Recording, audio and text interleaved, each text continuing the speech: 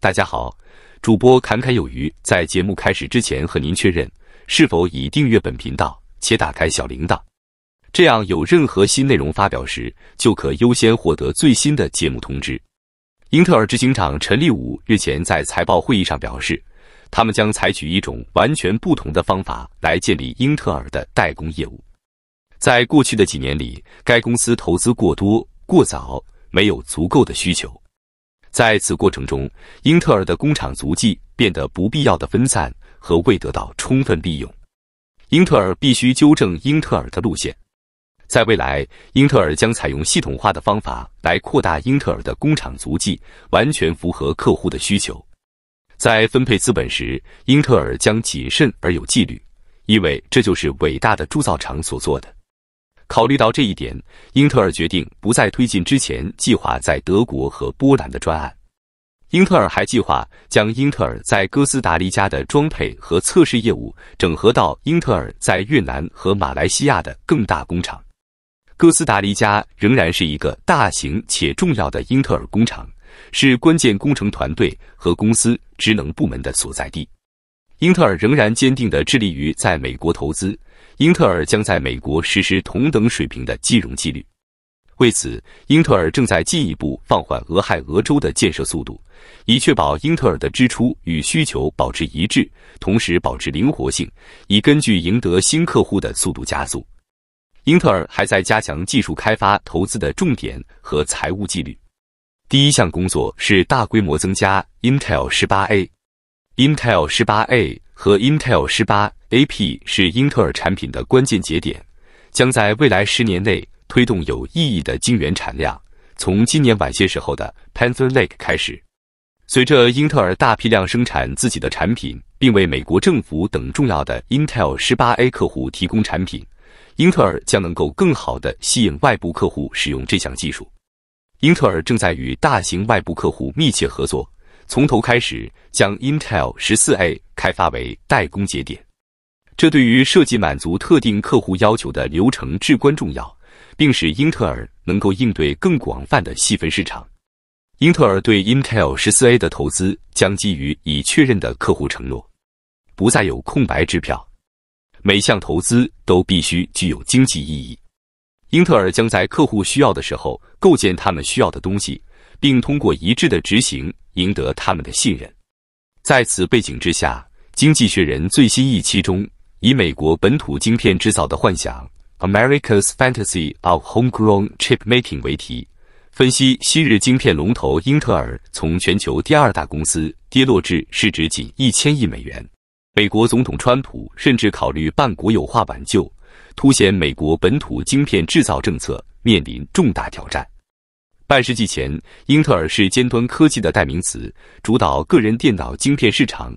两千年一度成为全球市值第二大公司，如今市值仅剩一千亿美元，在晶片公司中连前十五名都排不上。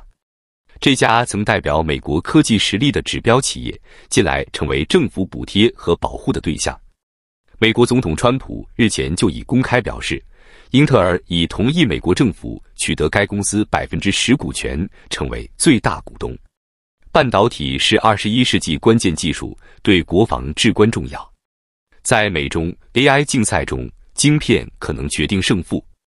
即使自由贸易支持者也承认其战略重要性，并忧心全球尖端晶片高度依赖台积电和台湾。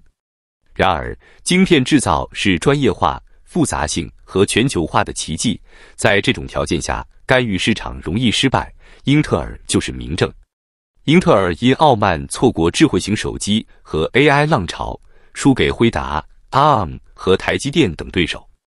拜登的晶片法案承诺提供英特尔八十亿美元补助和一百二十亿美元贷款，但该公司仍在挣扎，现金流勉强维持营运。俄亥俄州原定今年开业的晶圆厂，现预计二零三零年代初才能营运。拯救英特尔所需资金持续成长，估计未来几年需投资超过五百亿美元才能成功制造先进晶片。即使政府投入如此巨资，也无法保证成功。拜登政府在英特尔问题上失败，但川普可能让情况更糟。他威胁对晶片进口征收关税，可能强迫辉达等公司使用英特尔制造半导体。这些措施或许能为英特尔争取时间，但会削弱美国竞争力。因为晶片制造并非目的，而是美国科技业称霸全球的关键投入。强迫企业采用自己产品，将损害其优势。面对英特尔困境，《经济学人》提出三项建议。首先，美国不应死守英特尔现有架构，英特尔可考虑拆分，将晶圆代工部门卖给有资金实力的投资者，如软银。软银据报有意收购，并已宣布投资英特尔二十亿美元。或者出售晶片设计部门，专注发展制造业务。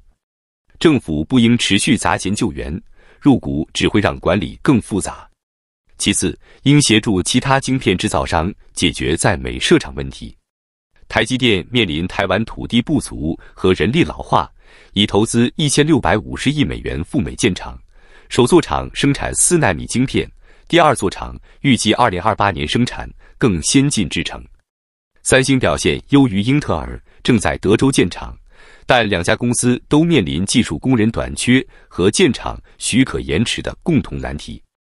最后，即使发展本土制造，增强美国产业韧性，也不能完全切断与全球的连结。半导体供应链高度专业分工，关键设备来自世界各地，如荷兰的极紫外曝光机、日本的制程设备，美国无法独立完成所有环节。真正有效的晶片政策应该是简化建厂许可，培训更多工程师，让外商愿意到美国投资。政府应开放进口制造设备和技术人才，而非用关税筑墙。半导体产业经过数十年全球化发展，强求完全自主供应链既不现实也不经济。与此同时，英特尔财务长辛斯纳在花旗2025年全球科技、媒体及电信会议。Global TMT 揭露，明年可能决定等效业界1.4纳米的 Intel 14A 先进制程的未来。台积电是很好的合作伙伴，将永远与台积电合作。辛斯纳在讨论 Intel 14A 制程时表示，先前英特尔执行长陈立武表达 Intel 14A 制程没有客户就会终止开发的说法，并非对 Intel 14A 制程缺乏信心，而是要表达财务纪律。要先有外部客户需求，才会创建产能。被问到英特尔何时能决定 Intel 十四 A 制程继续推动时，辛斯纳说，他认为会在二零二六年某个时间点，英特尔将更掌握情况。若英特尔继续研发 Intel 十四 A 产品，可能在二零二八年至二零二九年问世，目标是在此期间获得一些外部客户。陈立武未来几个月也将公布与讨论英特尔的 AI 策略。辛斯纳另外特别强调，台积电是很棒的合作伙伴。英特尔倾向继续使用台积电的技术，Lunar Lake 等许多晶片都外包，多数 Arrow Lake 也都外包。他透露，目前内部与外包生产的晶片比率各为百分之七十与百分之三十，外包的百分之三十比率可能会下降。但仍高于十年前的水准。当辛斯纳被问到英特尔下单给台积电是否会因英特尔晶圆代工服务 IFS 的产品而改变，他表示，未来双方关系可能在某种程度上波动，但英特尔将持续下单台积电。你知道，永远真的。那么本期内容到这里就结束了，感谢你的观看，期盼能与你产生共鸣。侃侃而谈，阔论有余。最后。请你点赞、订阅，这对侃侃有余是极大的鼓励，谢谢。